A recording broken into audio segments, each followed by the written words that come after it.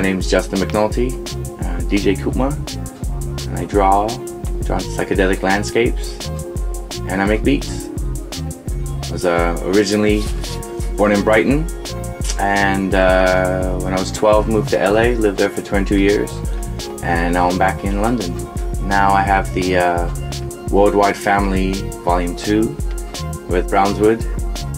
I think the reason why I, I kind of, my sets have a lot of unreleased music is because I started DJing rather late in LA, and LA already had the Beat Junkies and already had, uh, you know, amazing DJs, uh, Cut Chemist, and you know people like that. So I'm not gonna, you're not gonna be J Rocc, simple as that, you know. So I think um, I always had to play music that no one like really hears.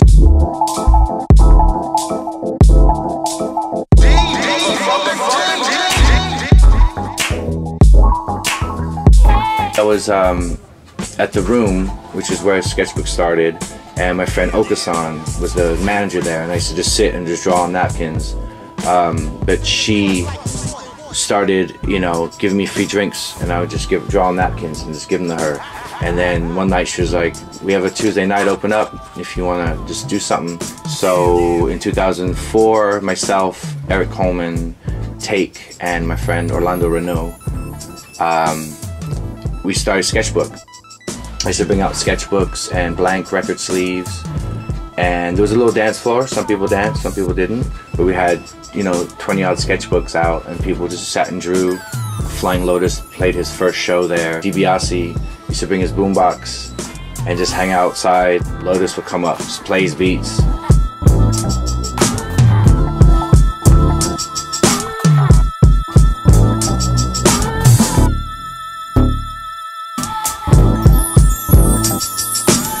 With the setup of the vinyl, um, I have the CD I, um, with the sequence I want you to listen to it, or the listener. Uh, but the vinyl is more for the DJs.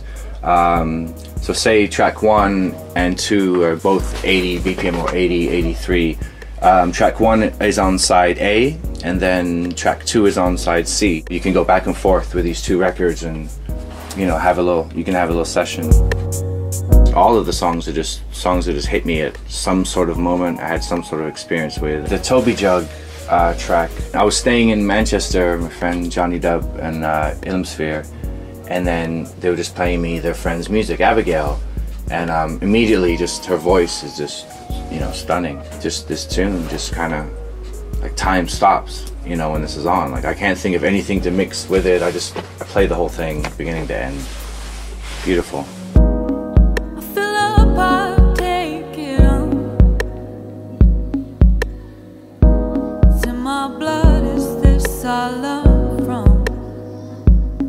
Tebis is uh, is a new artist uh, that I didn't know in LA. Met him here down in London. Seven Davis Jr.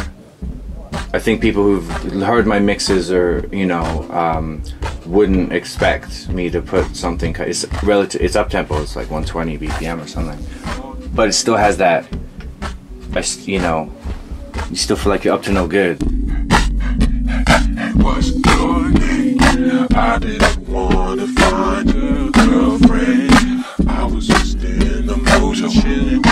Initially with the artwork, I didn't I didn't really know when I was while I was making it that it was going to be for the for the comp.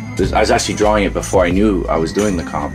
Um, I wanted to do stationery. I wanted to draw nice borders so you can write your grocery list or poetry. But it ended up, you know, I got the comp idea came up and it just made sense to uh, to use that art